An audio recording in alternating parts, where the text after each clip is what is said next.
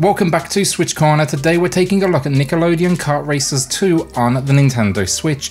Now can it improve upon the disastrous first entry in the series, or is this another easy game you can just, you know, skip out on? Well hit subscribe if you love the Switch as much as we all do here, join our growing family, and let's get started.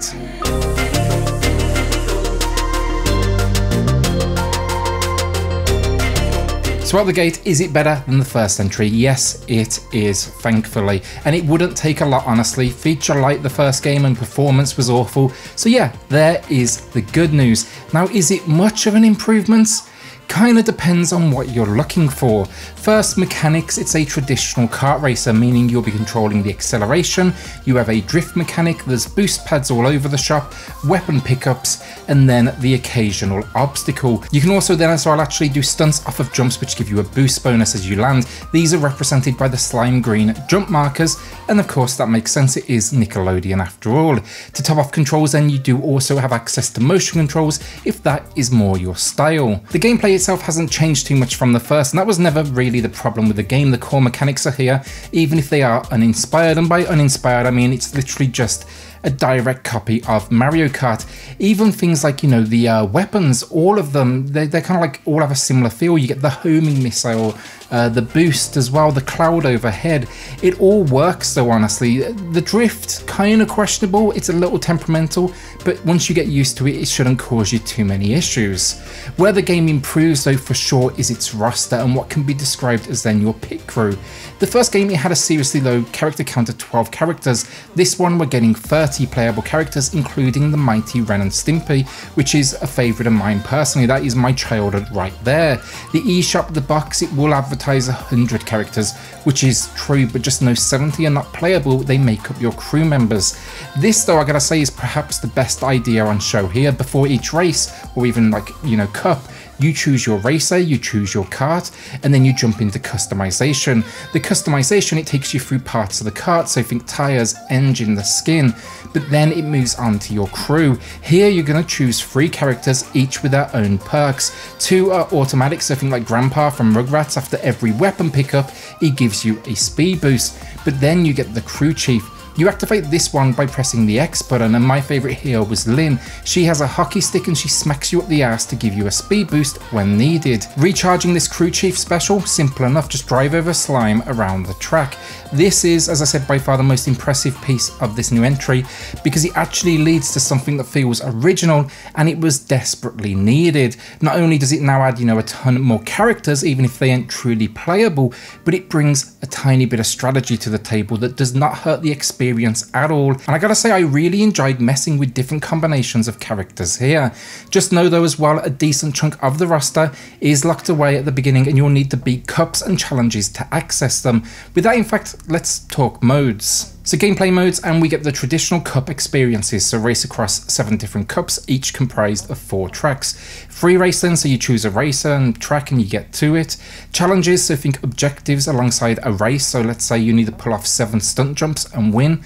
Time trial and then arena. Arena is a battle mode, either free for all or you have to keep hold of a golden spatula. This has two arenas to play on, but it gets boring quickly and I doubt many will come back for it. Finally, for modes then we get local split screen multiplayer that accommodates up to four players, and then online where you can play with friends or use matchmaking.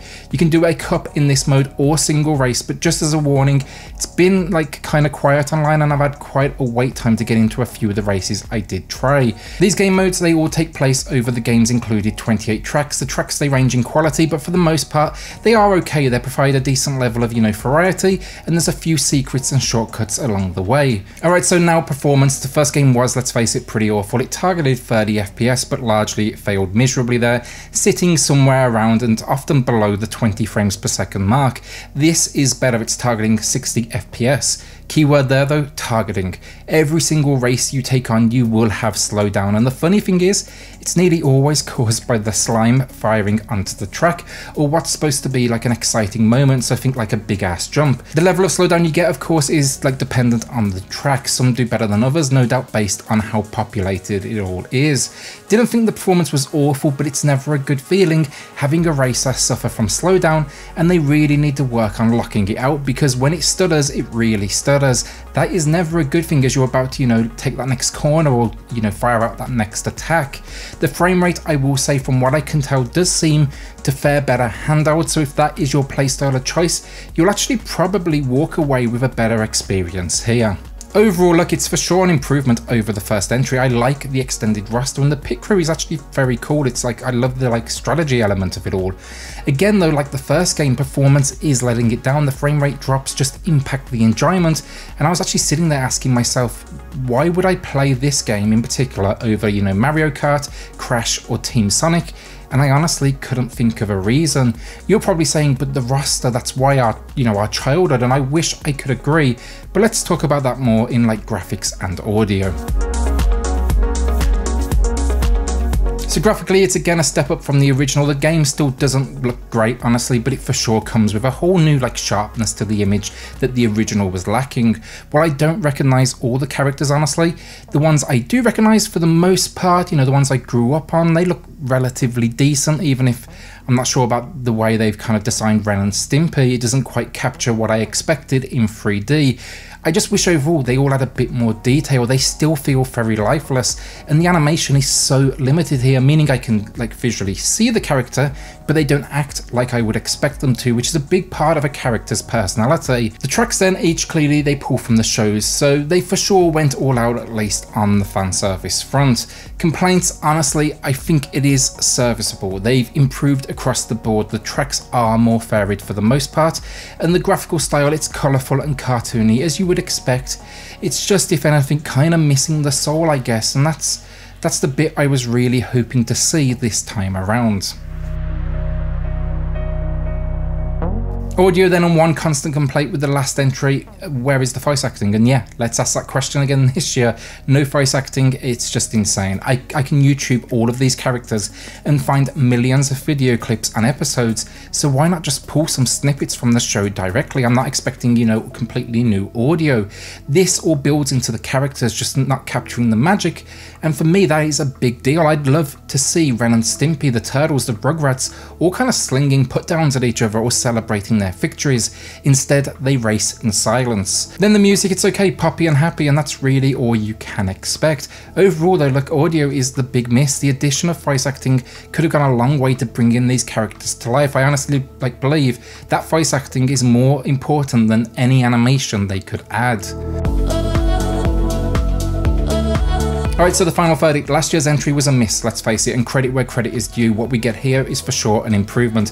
Tracks better, a ton more characters, the implementation of crews, which just adds strategy, more features generally, which drives more replayability, and the graphics smoother, as well as then, of course, the addition of online play.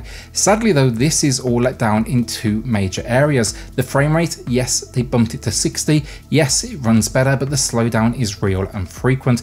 I'd even go as far as saying maybe they should have just, you know, know, targeted a locked 30 here instead because every time that slowdown kicks in, it's painful. And for me, you just can't afford slowdown like this in a kart racer. It's all built around precision. Now, young kids, they probably won't care, I'll, I'll give you that much, but I'm reviewing this as the guy who grew up like watching many of these characters in the 90s, and that's where they miss the most. I see Nickelodeon in the name, but outside of the slime, I just don't feel it in the game. They are just empty shells of the characters with zero voice acting and personality, and that is a waste when the license is so good. Today I'm giving Nickelodeon Kart Racers 2 a below average 4 out of 10. Thanks for watching today. Will you be adding this one to your collection? Can you handle frame rate issues in a racer or is that just too much for you to, you know, deal with? The nicest thing I can say about the game today is some of the new systems are really impressive, really enjoyed them, but more than anything, I can at least say it's better than last year's entry. The big problem though, just like last year, a lot of missed potential. So like as always then a shout out to the patrons of the channel who are just going above and beyond to support Switch Corner. Truly is appreciated, helps more than you know, so thank you all so much. If you want to check that out for yourself, it is linked in the video description down below. Then, like, hit subscribe if you love the Switch as much as we all do here. Join our growing family, and I'll see you all on the next video. Thanks everyone.